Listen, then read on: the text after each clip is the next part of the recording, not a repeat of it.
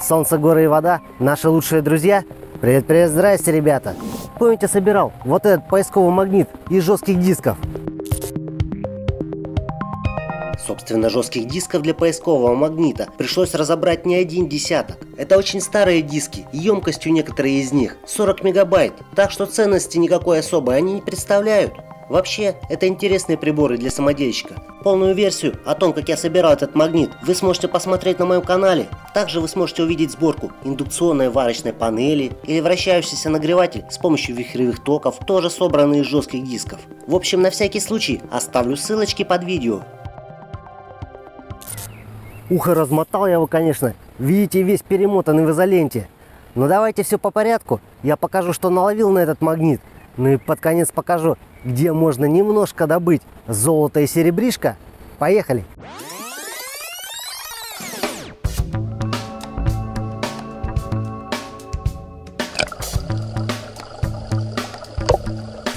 Вот и мое первое место. Сейчас испытаем этот интересный магнит. Сколько он монеток притянет. Это небольшая беседка, расположена в профилакторном закрытом комплексе. Думаю, что особо денег здесь не наловить. Но для испытания моего поискового магнита, я думаю, что такой небольшой объем в самый раз. Эх, да простят меня те, кто кидал монетки, в надежде вернуться сюда еще раз. Ну а кто знает, где эта старинная беседка, пишите буквы под видео. Ну неплохо, да? Сразу с первого раза.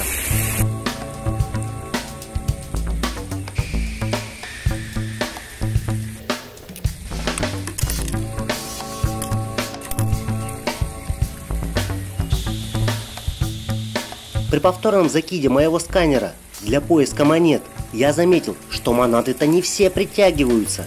И да, оказалось, что монетки, выпускавшиеся более ранних годов, сделаны из немагнитных сплавов, например, никеля с какими-то примесями. Вот такая вот история оказалась.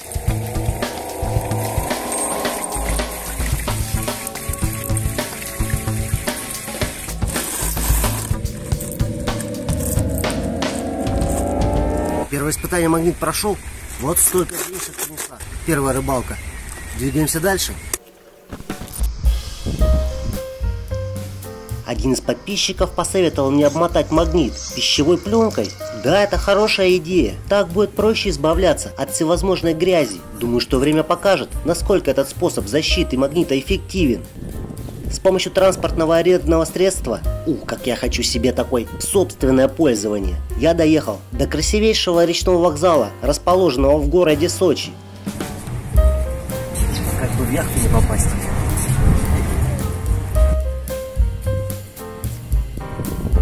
Да, кстати, летать на БПЛА здесь категорически запрещено. До меня у парня спецслужбы увели дрон за 200 косарей в море, перехватив управление. 10 копеек примагнитилась. Хрен оторвешь. 10 рублей. 10 рублей. Зевак возле себя, конечно, я собрал целую кучу. Давайте вставлю несколько live-аудио. Вон банка сгущенки. Андрюха, здесь она упала. Банка сгущенки здесь упала. Нет, вот там, в этой стороне. Он где якоря туда бросать, они там постоянно цепляют. Там он, Здесь вот, вот, там он запутаться может. Вот это берет. вот берет. Не, вот эту берет. Мы, Не- вот не живите. а вот это не берет. Не живите. Ни хрена себе вот так вот. Да, давайте, тяните. Чего так? Вы спрашиваете, а чашки есть? Ну, чашка, она... Чашки это не пробка. Там только не- крючки могут замагнить. Вот, вот крючок оставил. Классно.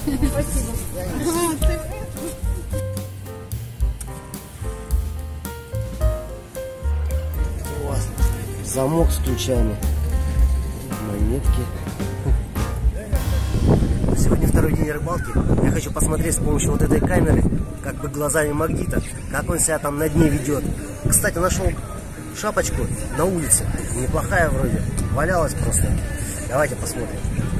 Эту замечательную экшн-камеру мне подарил дружище Иван, которого вы неоднократно видели в моих видео. Кстати, он построил себе неплохую мастерскую.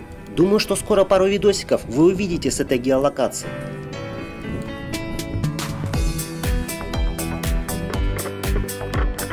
Глубина на данном причале около 9 метров. Старожилы говорят, что раньше сюда заходили огромные лайнеры, ну а теперь здесь стоят только супердорогие роскошные яхты. Кстати, у меня есть планы, чтобы собрать и запустить батискаф в данном месте. Ведь посещаю я Сочи стабильно раз в году. Местные рыбаки говорят, что здесь стабильно 2-3 мобилки в день теряют оголделые туристы.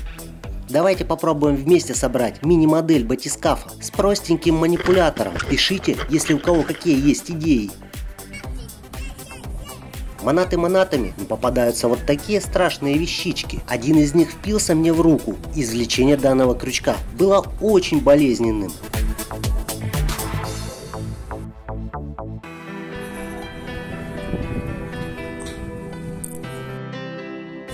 Сегодня опять поймал замок, ну и рублей 300. Уже вечер, на сегодня все, продолжу завтра. По дороге я еще забежал на городской фонтан. Видно, что фонтан чистится неплохо. Несколько дней назад я специально кинул пару монет в определенном месте. И каким-то мистическим способом они исчезли. Наверное, мистический способ называется «Ребята без определенного места жительства». Но кое-что мне все равно удалось наловить.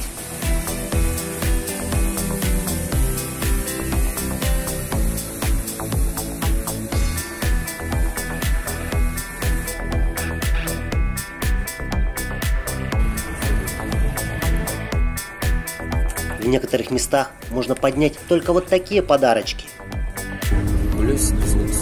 Какие если в руку вопьются конец. Да, рыболовных снастей я наловил, наверное, в несколько раз больше по стоимости, чем наловил монеток.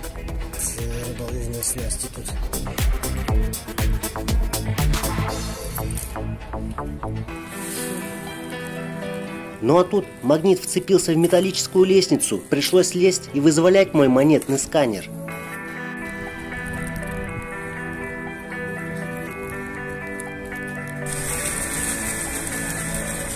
Ну и даже маленький фонтанчик надо просканировать. О, даже здесь есть денежки. Неплохо. Я думаю, что, наверное, отдать их. Веревка есть, магнит остался. Ладно, давайте удачи. Давай, не знаю. Попробую покидать на Черном море. Ну, вряд ли что-то можно, наверное, найти. Ну, такое каменное, или галечное, не знаю как, или галечное. Давайте попробуем.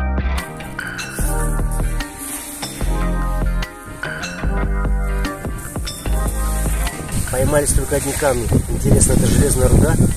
Как думаете, при какой температуре и вообще, можно ли переплавить эти камни в металл? Пишите.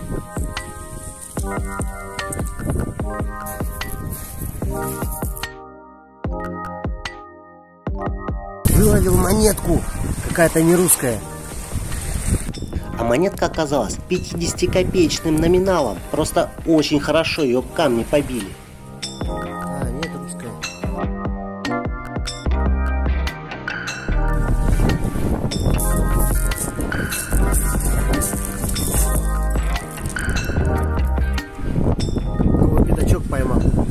Видать, недавно кто-то кинул. Ну а здесь давайте покажу визуально, как ловится монетка. Думаю, что комментировать особо тут нечего.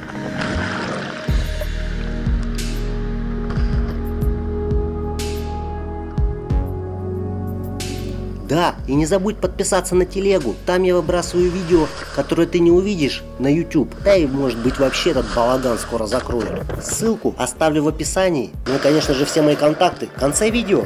И вообще, если тебе не сложно, то подпишись на мой канал YouTube и жамкни колокольчик, чтобы я понимал, а стоит ли вообще что-то снимать дальше. Прибыли с видео я никакой не получаю, а так хоть буду знать, что я не в темноту работаю, что кому-то интересно мое видео.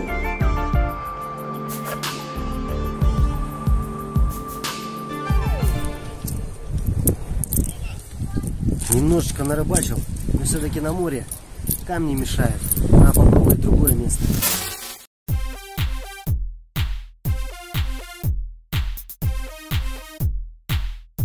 Решил пару раз кинуть магнит в речке под названием Сочи. Кстати, магнит сейчас похож на настоящий. Синее красное. Здорово, да? Но, к сожалению, мой магнит пришел в негодность. Надо немножко отремонтировать его. Да, термоусадочная трубка недолго прожила, но у нас же есть величайшее изобретение под названием изолента.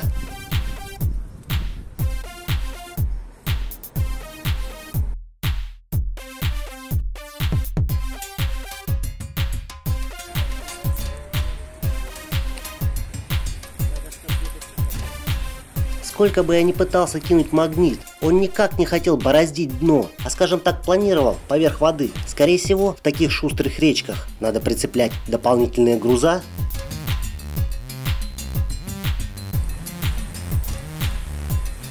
К сожалению, на большом течении ничего не поймать, надо искать другой водоем. Да, рыбачить не на рыбу, а на монетки оказалось намного интересней. Как же это можно назвать? Рыбалку-то понятно, что рыбалка. А тут монетка-алка или коин-алка. В общем, пора подбить улов за несколько дней. Для этого мне нужна какая-нибудь тара и что-то похожее на сито. К счастью, на кормилице этого добра предостаточно.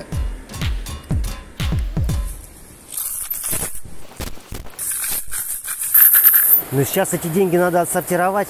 Я специально выбрал горную речку, а не на море. Ну, чтобы загрязнять там, скажем так, меньше. Попрошу это сделать. Катерина! Катерина, как обычно, с радостью согласилась выполнить роль коин-сортировщика.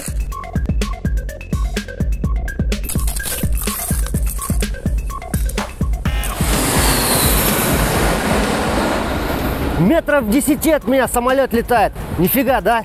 Ну, в общем, 740 рублей получилось. 200 из них, скажем так, неликвидных. Сейчас попробуем отмыть. Соль и уксус я тоже купил на выловленные деньги. Ну не тратить же мне свои. Добавил еще немножко песка в качестве абразивного материала. В общем-то адская смесь готова. Немножечко воды добавлю, потому что здесь 60% уксус. 15 минут, извините меня за выражение дрочки, и пора смотреть результаты, что получилось.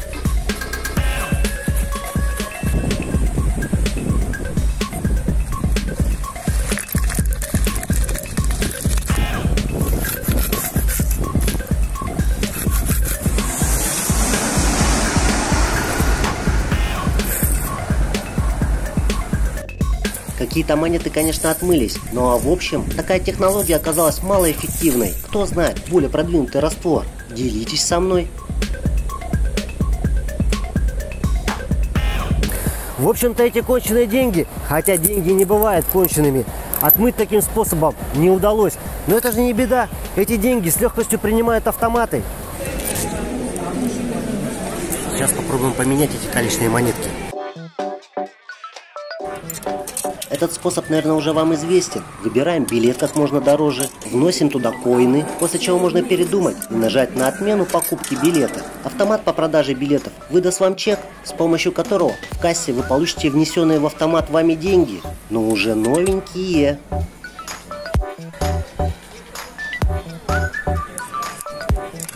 Есть второй способ, но здесь придется вложиться. Например, внести сумму больше, чем стоит кофе. И после покупки автомат выдаст вам сдачу, соответственно тоже с чистыми монетками. Конечно же, это не мой способ зарабатывания, а просто развлекуха. Все выловленные монетки мы, конечно же, раздали тем, кому они намного нужнее, хоть и 90% из них мошенники. Но выловленный один из замочков мы решили оставить в Адлере с надеждой, что в следующем году мы его увидим.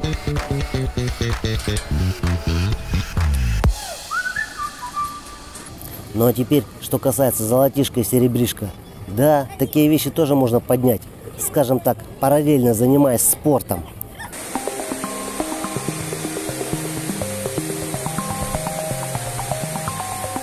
В отпуск я беру с собой вот такую замечательную вещицу.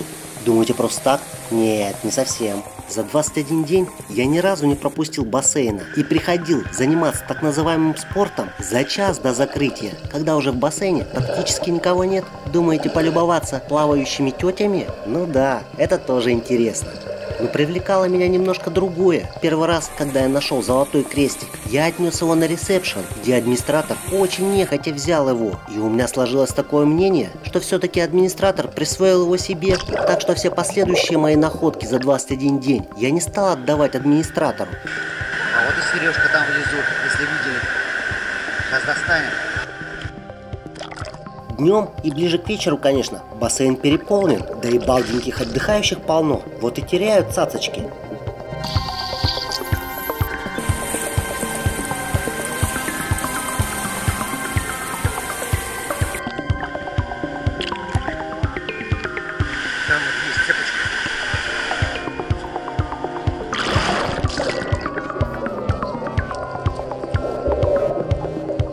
Всякий случай я не буду показывать, что и сколько цацок я выловил.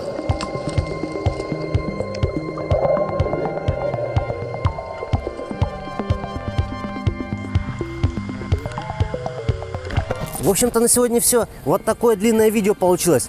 Если вам интересно и хотите, чтобы я покидал еще в Москве, в Южкороле, пишите букву под видео. Но я с вами не прощаюсь, не болей и храни тебя Господь.